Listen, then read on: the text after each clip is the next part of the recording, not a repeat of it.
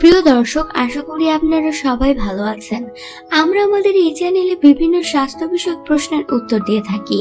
প্রতিবারের মতো আজকেও আমি একটি প্রশ্নের উত্তর দিব। এস এইচ ফরাদ নামে একজন প্রশ্ন করেছেন, দুই মাস বিয়ে করেছি, মিলন শুরু করার আগে বীর্যপাত হয়ে যায়, এরপর লিঙ্গ আর দাঁড়ায় না, আমি কি করব? তো চলুন দর্শক, উত্তরটি জেনে নেওয়া যাক।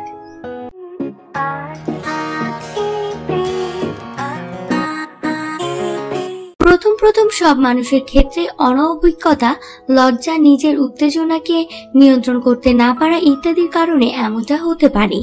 চিন্তার কিছু নেই, সময় নিন, তাড়াহুড়া করে মিলিত হবেন না। এই মুহূর্তে আপনার চিকিৎসকের কাছে যাবার প্রয়োজন নেই বলেই মনে হয়। বিভিন্ন বিজ্ঞাপন থেকে বিভ্রান্ত হবেন না। আপনার যে সমস্যা, সেটা খুব স্বাভাবিক। যৌন মিলনের সময় দ্রুত বীর্যপাত হয়, এমন পুরুষের সংখ্যা কম নয়। শারীরিক সম্পর্কে চরম তৃপ্তি পাওয়ার আগে শুক্রাণু বেরিয়ে গেলে হতাশ হতে হয় তাদের। বিষয়টি রোধে নানা ধরনের জেল, স্প্রে ব্যবহার করেন কেউ কেউ, কিন্তু এগুলো নিয়মিত ব্যবহারে দেখা দিতে পারে পার্শ্ব প্রতিক্রিয়া। নানা ধরনের প্রাকৃতিক কৌশল ব্যবহার করে দীর্ঘক্ষণ শারীরিক সম্পর্ক করা যায়।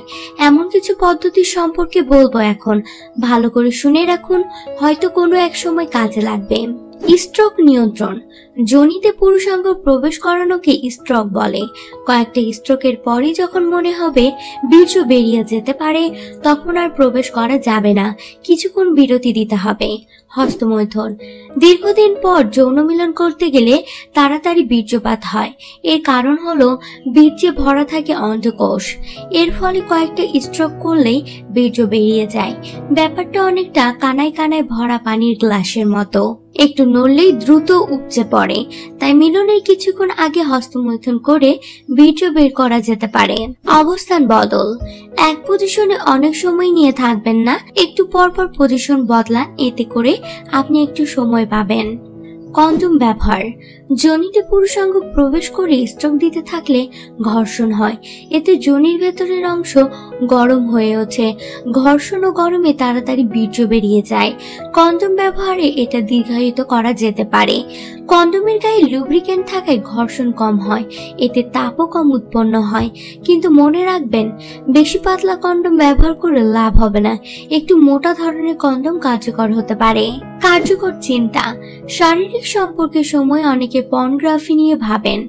কেউ কেউ আবার রাস্তাঘাটে, বাসে, ট্রেনে দেখা কোনো নারীর শরীর কল্পনা করতে শুরু করেন।